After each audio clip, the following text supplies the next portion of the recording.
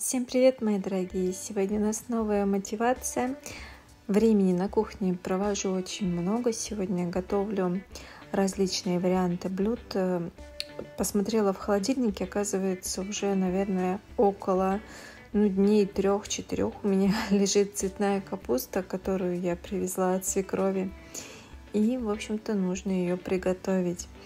А часть капусты, которую я привозила, я заморозила. А вот этот вариант я оставила для приготовления блюд. Ну и как-то, знаете, закрутилась и, в общем-то, забыла. Поэтому думаю, что пришло время, решила сделать цветную капусту в кляре.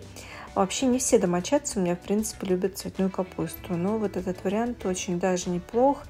То есть она получается такой румяной, а даже немножечко хрустящей снаружи, но это в начале приготовления. А, и мягкой внутри. И при этом блюдо очень сытное. Также у меня еще есть кабачки. Кабачки это с моего дачного участка. Вот как раз таки сейчас у меня там молодые кабачки изреют. Ну, я просто их поздно сажала, поэтому вот кабачки пока есть. Я знаю, что у многих уже закончились. Кабачки решила также приготовить просто на сковороде. А, а затем уже сделать для них заливочку. На самом деле очень такой простой рецепт, быстрый, ну можно даже сказать моментальный. Обязательно выпущу видеоролик, э, скорее всего, на канале «Готовим дома». Но без э, мясных блюд, конечно, очень сложно, потому что муж и дочка очень любят мясо. А, решила также еще пожарить картофель, как раз-таки вместе с мясом. В качестве мяса у меня сегодня свиное легкое. Очень вкусный продукт. Э, вначале я легкое отварила, а затем уже вместе с картошечкой обжарила на сковороде с добавлением растительного и сливочного масла. Также еще добавила различные специи, но, в общем-то, очень даже неплохо получилось. Кстати, мои дорогие, сегодня 1 сентября, и мне, конечно же, хочется поздравить вас с Днем Знаний. Э, всех, кто проводил своих детишек в школе я также поздравляю, дорогие родители, желаю вам терпения, детям вашим успеха в учебе. Все обязательно будет хорошо, не волнуйтесь, новый учебный год. Это, конечно же, не просто, но мы все привыкнем. У меня тоже дочка пошла в школу, уже 10 класс, и, конечно же, свою красавицу, свою умницу я поздравляю, очень люблю и буду всегда поддерживать. Ну и вернемся, конечно же, к мотивации. А также сегодня я решила еще приготовить компот. Вот знаете, в последнее время я уже рассказывала вам, очень часто готовлю ягодные компоты. Ягоды заморозила летом, и вы все тоже знаете, что заморозку делаю всегда часто и много, про запас. А у меня в семье почему-то не любят консервированные напитки, консервированные компоты. Обычно много раньше закрывала, вот прям за лето, я не знаю, несколько приемов, несколько партий отпуска, опускала в подвал.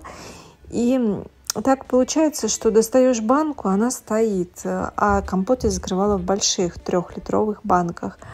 Банка стоит, никто не пьет, ну, немного, да, вот отопьют и все как бы. А потом пришла вот к такому решению готовить компоты свежие, то есть сразу из свежих ягод и фруктов. Я делаю обычно, кстати, различные микс, миксы. И домочадцы, ну, просто с огромным удовольствием. Вот без какого-либо преувеличения всегда пьют э, компот. То есть я готовлю, переливаю в кувшин и храню в холодильнике. Ну, хранить особо долго не приходится. На самом деле, на следующий день уже компота практически нет, и я готовлю, как правило, новый чему я очень даже рада, что домочадцы пьют компот. Это полезно, потому что ягодки свежие. И я сахара не очень много добавляю. Он даже, знаете, вот как морс получается практически с такой легкой кислинкой. Дочка еще всегда просит меня добавить либо клюку, либо э, дольку лимона. Ну, я, конечно же, добавляю. Вообще, когда много готовишь, то во время процесса присутствует много посуды, которую нужно мыть. У меня нет посудомоечной машины, кухня маленькая, я уже говорила, что ну просто некуда ее здесь ставить, поэтому нет этой хорошей машины, приходится мыть все вручную. Ну и также я стараюсь еще, знаете, максимально поддерживать порядок на кухне во время готовки. То есть я готовлю и смотрю, где-то брызги какие-то, где-то капли. Я стараюсь это сразу все убирать, то есть, ну, контролировать, скажем так, чтобы кухня была в порядке.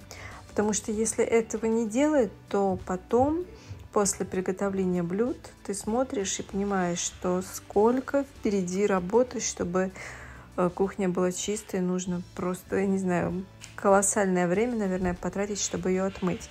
Обычно такую генеральную уборку я делаю, ну, раза, наверное, да не раза даже, а где-то один раз, наверное, в месяц. И стараюсь периодически на протяжении этого месяца поддерживать чистоту. То есть бывает так, что где-то один шкафчик разберу, где-то другое, где-то вымою сверху панели, где-то внутри э, какого-нибудь шкафа, либо же в холодильник помою. Ну, то есть как бы вот так поочередно, поэтапно, потому что сразу это все-таки очень сложно. Ну и сегодня тоже не исключение в процессе готовки, наверное, пару раз, да, пару раз мыла плиту, потому что были потеки, были какие-то капли и даже что-то там проливалось. Ну, то есть такое бывает, это как бы нормально, когда ты готовишь и что-то где-то убегает. Это такой процесс, когда много еды, много всего, и ты понимаешь, что так или иначе ты где-то что-то заляпаешь, приходится потом мыть. Кстати, здесь решила еще приготовить крабовый салат. Э, дочка очень любит крабовый салат вот с помидором, э, с яйцами отварными, такой быстрый вариант. В общем-то, все, мои дорогие. Вот такая у нас сегодня мотивация, вот такая у меня сегодня рутина. Много всего приготовила. Более-менее поддержала чистоту на кухне. Глобальной какой-то уборки не было. Всем пока-пока, мои дорогие. Хорошего настроения.